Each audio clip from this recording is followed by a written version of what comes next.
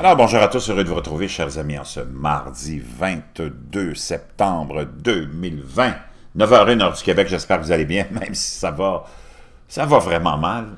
J'ai pas besoin de vous répéter pourquoi ça va mal.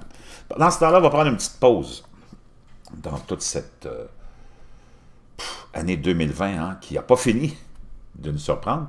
Je me demande quel sera le prochain gros événement. Hein? On a vu tout ce qui s'est passé, puis le dernier étant le gros scandale avec les banques. Wow!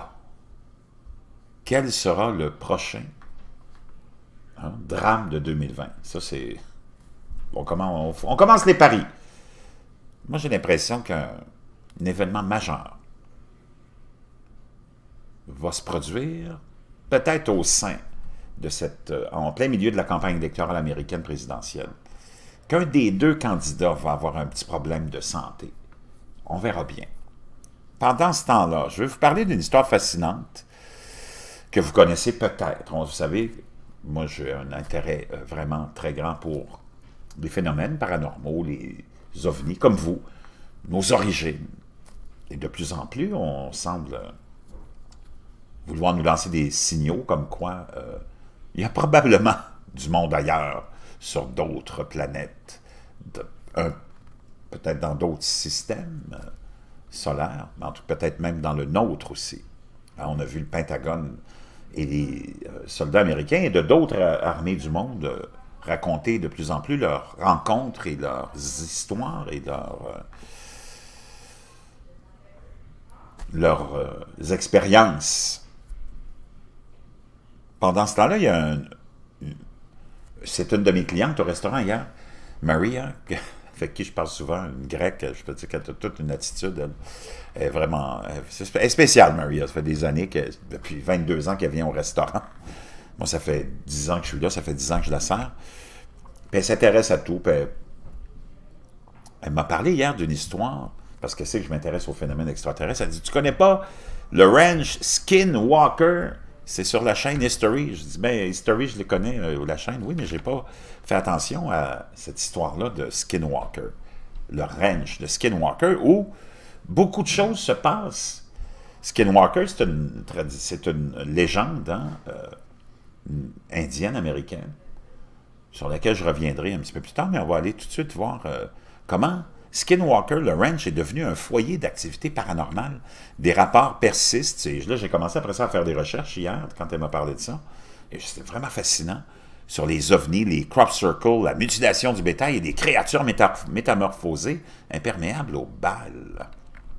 Donc ça, c'était du... Euh, c'est moi voir la date. 17 janvier 2020. Donc, certains l'ont appelé un endroit surnaturel, d'autres l'ont jugé maudit Terry Sherman a été tellement effrayé par les événements sur son nouveau ranch de bétail que 18 mois après avoir déménagé sa famille de quatre personnes dans la propriété maintenant connue par beaucoup comme Skinwalker Ranch dans le nord-est de l'Utah, hein, un état vraiment bizarre celui-là, il a vendu la parcelle de 512 acres. Lui et sa femme Gwen ont partagé leur expérience effrayante avec un journaliste local en 1996.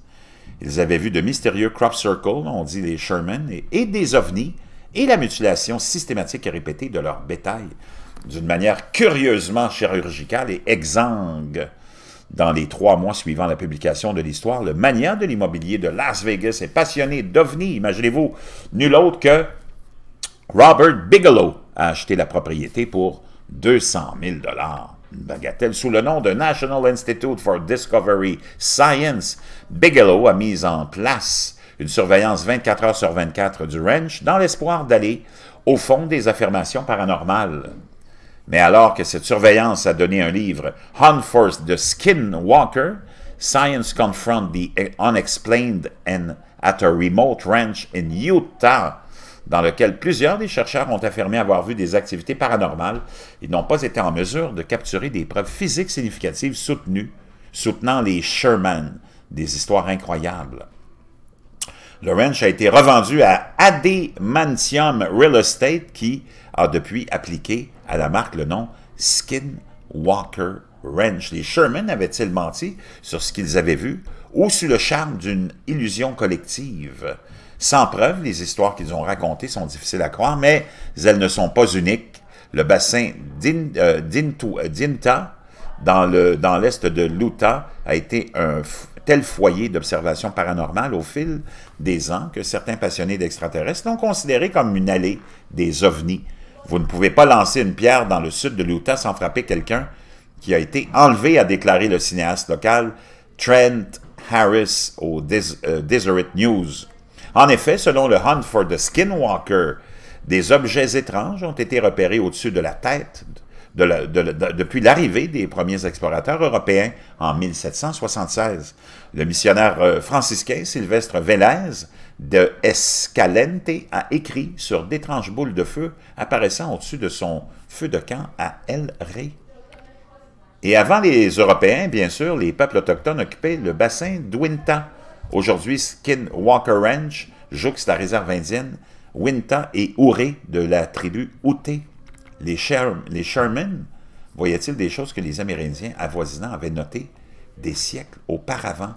Tout ce que les Sherman ont vu dans leur ranch n'était pas des ovnis aériens. Ils ont également prétendu voir de mystérieux grands animaux, plus particulièrement un loup trois fois plus grand qu'un loup normal que Terry a tiré à bout portant plusieurs fois avec un fusil, apparemment sans effet. Puis, dans la nuit du 12 mars 1997, après la vente du ranch, le biochimiste Colm Kelleher, travaillant avec le National Institute for Discovery Science de Bigelow, a prétendu voir une grande créature humanoïde espionner l'équipe de recherche depuis un arbre. Comme il l'a détaillé dans Hunt for the Skinwalker, la créature était, euh, était à environ 50 mètres, surveillant l'équipe en toute sécurité depuis un arbre perché à 20 pieds du sol. La grande créature qui gisait immobile, presque avec désinvolture, dans l'arbre, dit Kelleher. La seule indication de la présence de la bête était la lumière jaune pénétrant des yeux non clignotants alors qu'il regardait fixement la lumière. Après que Kelleher ait tiré sur la créature avec un fusil, elle a disparu. C'est alors que je l'ai vue. Une seule piste ovale, évidente, d'environ 6 pouces de diamètre, profondément enfoncée dans la plaque de neige. Cela avait l'air inhabituel, une seule grande impression dans la neige avec deux griffes acérées, dépassant de l'arrière de la marque va, euh, va, quelques centimètres plus profondément.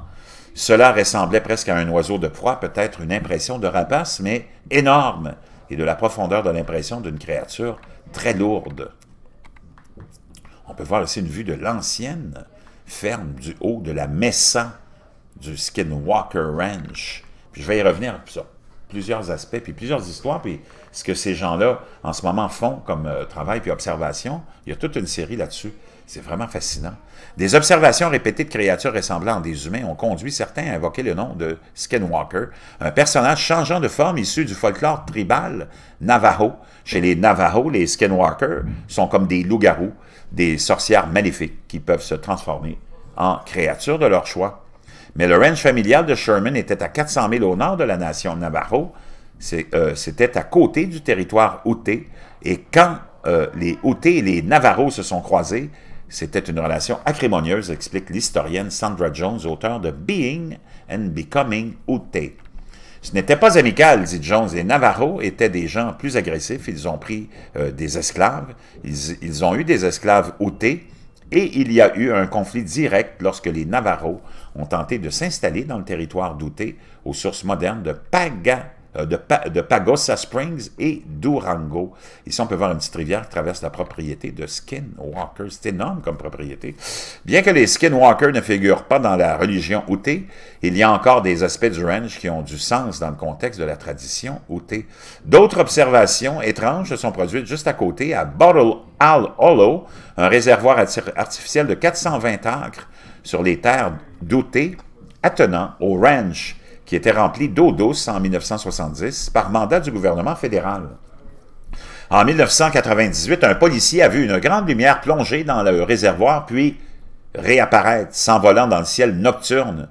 Une nuit de 2002, quatre jeunes hommes non indiens, debout sur le rivage du réservoir, ont vu une balle bleu-blanc entrer dans le lac artificiel. Selon la Chase au Skinwalker, la balle euh, rougeoyante a plongé dans l'eau à quelques mètres du rivage, puis a émergé quelques secondes plus tard sous une nouvelle forme. un arbre de lumière chatoyant et maniable en forme de ceinture.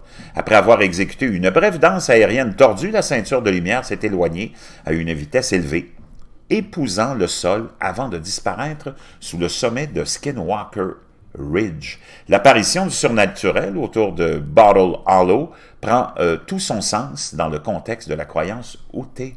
Selon Jones, parmi les outés, les sources et certaines voies navigables étaient des réservoirs de pouvoir négatifs.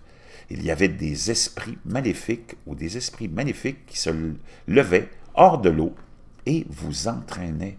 Donc, je vais vous faire euh, vraiment euh, voyager dans cette histoire-là de ce fameux ranch parce que c'est vraiment fascinant comment le Skinwalker Ranch est devenu un foyer d'activité paranormale. Euh, vraiment fascinant.